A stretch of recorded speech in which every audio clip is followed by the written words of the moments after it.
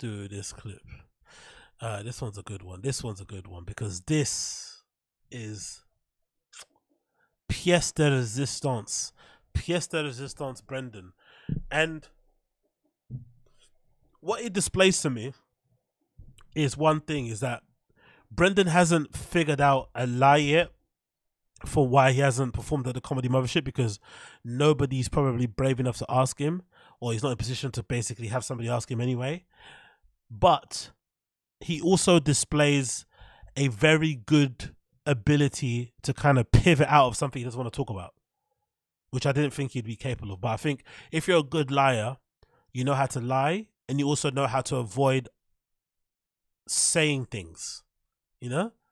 So he does it pretty well here because I feel like Adam Carolla knows exactly what he's saying to Brendan. He knows exactly why he asked this question because most likely one of his producers told him about the Fighter and the Kid sub or about the meme. They hasn't performed that the fucking comedy mothership yet, even though him and Rogan are meant to be called good friends. Like he knows something. This is definitely on purpose. And Brendan kind of dealt with it kind of well. I'm not gonna lie. He avoided it well, but it's also evidence for me that he knows why he's not able to perform there yet, but he hasn't made up enough of a lie in his head to kind of put out there because no one really asked him anyway. So let's play this clip because this is really interesting. Now, I know famously Rogan said you got to stop fighting, uh-huh. right? Should there be a version of that for stand up? Should there be a tribunal where like other comedians just say to somebody, it's been 11 years I just saw you your. Got to move on. It, it's time to get that job at the supermarket. I think eleven years Freeman. is. Yeah, I think. I think eleven years is a good marker, but that's what like Mitzi was for, right? For Mitzi Shore at the yes. store, she was kind of she was wrong sometimes. You know, like she turned down Seinfeld, and like you know she took some L's, but she took a lot of. Imagine Brendan's talking about Mitzi Shore, one of the legendary figures behind, you know, stand up success in fucking Americas, saying she took some L's. God love Brendan. The hubris on this guy to even talk about her in this way, considering his own career, is absolutely incredible, man. W's. There, there, there's that aspect of it. Like when you stop getting booked at the Improv or the Comedy Store or Laugh Factory, like, hey man, I have to go work at the grocery store. I disagree with this. I think I left a comment on one of Unique's videos, and I kind of said the same thing I'm going to say now. Unfortunately, I'm going to repeat it, so bear with me. I think one of the reasons why comedy and even DJing to a certain extent, the field that I'm in is so weird, is that it's not really a question of whether you're good at what you do. It's not really a question of whether you're really funny or whether you're a really good DJ. It's not really a question about that. Nowadays, with the way the scene is, or the way the industry, or the way life is in general, getting your own clout up, having a fan base will actually allow you to be able to perform at all these places he mentioned. Comedy store comedy club i mean ice house all these places will allow you to put on shows there or book you because they know you're a draw as draw as brendan would say.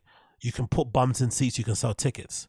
So because of that you can't really tell somebody when to give it up because all they have to do is become famous like brendan did in his stand-up. Here's a good example.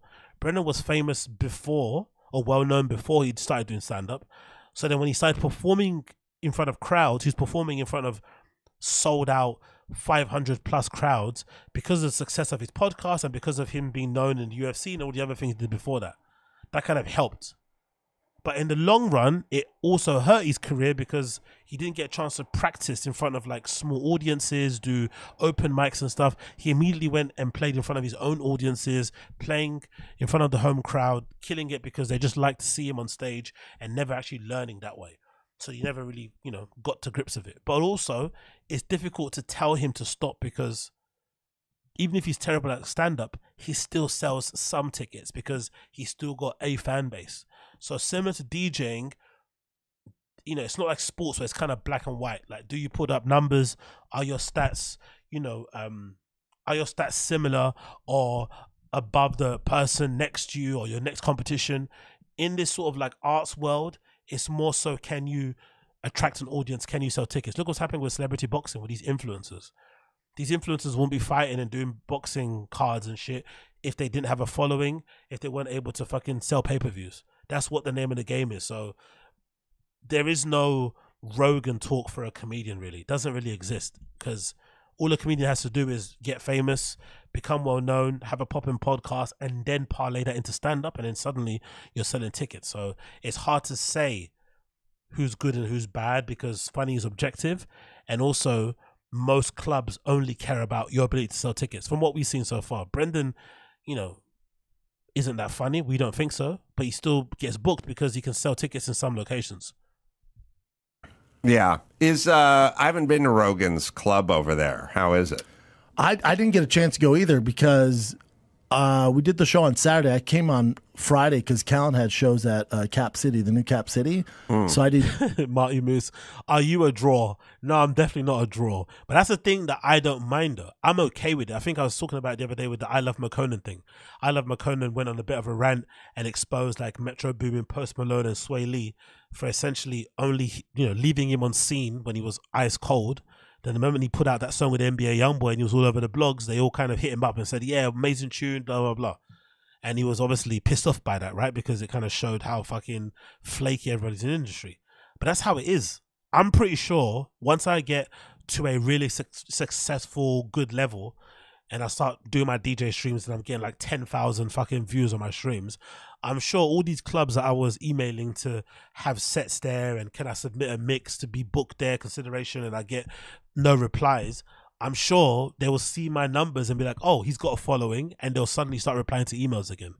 I'm not going to take that personally. It just is what it is. It's the nature of the business. Um, you just have to kind of use it to your advantage. And I think, you know, for better or worse, Brendan used it to his advantage, but I also think it did fuck him over long term because he didn't start from like a quote unquote humble beginnings. He kind of started on third base and then thought because he's hanging around with Rogan and Bill Burr and all these guys, Joey Diaz, he thought he was also a big established dude. So it's really difficult if you're hanging out with Rogan to then suddenly go to open mic, you know? You kind of feel like it's beneath you when really he's what he should have done. Anyway, let's continue the two shows with Callen at Cap City instead of going to the mothership.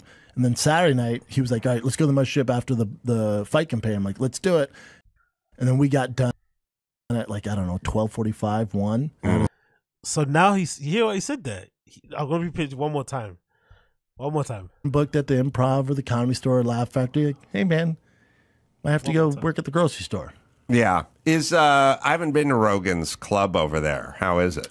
I I didn't get Adam Carolla knows he's never played there before. He knows this. He knows. Get a chance to go either because uh, we did the show on Saturday. I came on Friday because Callen had shows at uh, Cap City, the new Cap City. Mm. So I did the two shows with Callen at Cap City instead of going to the mothership. And then Saturday night, he was like, "All right, let's go to the mothership after the the fight campaign." I'm like, "Let's do it." And then we got done at like I don't know, twelve forty five one. Do you honestly believe that this guy who loves Rogan would? Not make time to go to the mothership if he was booked? Do you honestly believe that? That he was just so busy running around fucking Texas that he didn't have time to go to the mothership? It's an incredible, again, you have to give the guy props. His ability to lie on the spot and make up things is second to none. I don't think there's ever an, ever an option that he was going to play at the comedy mothership because I think somebody, or let me say, sorry if I continue, uh, John Doe says he's the only comic that thinks he's too big for small venues.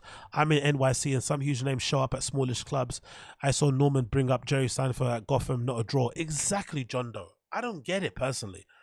I'd want to improve.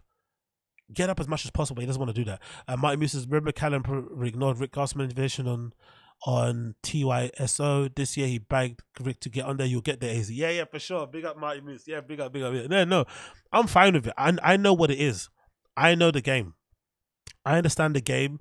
It's about numbers, it's about clout. The moment you are useful to somebody, they're certainly going to be hitting you up again. So I know, you know, it'll all come back around. It's not a personal thing, but I'm just saying, in his level, Brendan's level, if you start comedy in your mid 30s, you have to give yourself a chance to get good. And I think the only way to get good at something like this is to do it a lot and not perform in front of your own crowd because that's how you're going to get proper feedback, right? Go to like a random, like what you like, what John Doe says, drop in at random clubs that don't know you, and then perform because that maybe is a time where you're going to improve. I'd think so, but he didn't want to do that, and you know it kind of didn't serve him well. But the uh, the lie that he made up that he didn't have time to go to the fucking mothership is brilliant. On the spot, made up that lie. You gotta love it.